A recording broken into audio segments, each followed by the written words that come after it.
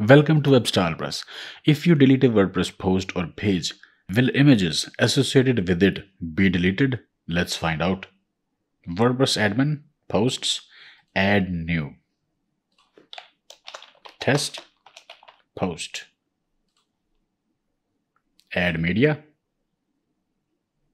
Test image. Insert into post. Publish.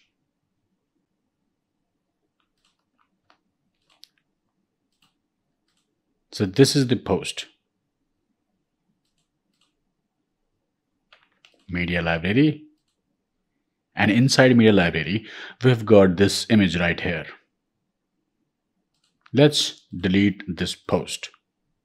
Move to trash. One post moved to trash. We have got this post no more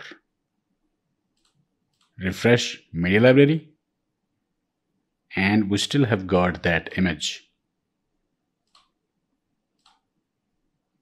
Go to trash and delete that post permanently. Post deleted. Refresh or reload media library and we still have got that image. So even if you delete a post or page, images that were uploaded in it may be still inside media library. To find unused images, click at this all media items from media library and select unattached from drop down menu. Or you can click at list view icon and look for the status of the image. As you can see, this image is showing unattached. This image is unattached.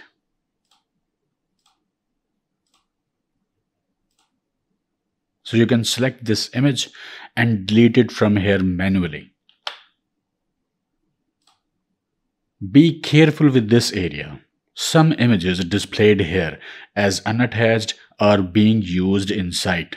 Delete only those images from here that you are absolutely sure not being used in site you can see these logos here these are being used here in header not in poster page but media library is saying that these are unattached you can delete unattached entries manually in this way by selecting unattached image from here or you can use plugin to clean WordPress media library.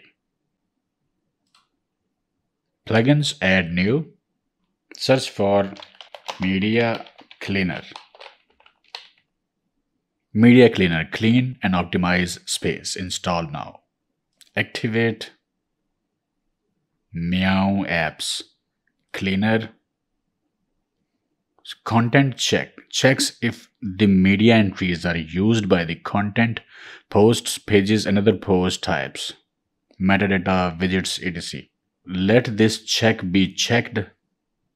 So go to Access Media Cleaner dashboard. Here, scan.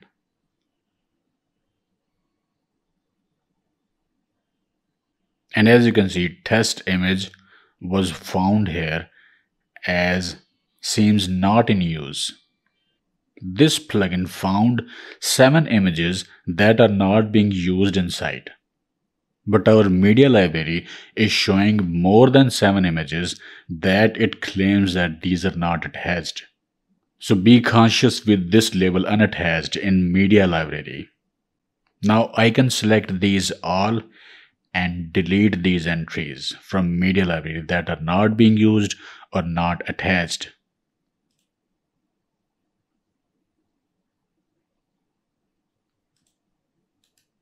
Reload media library.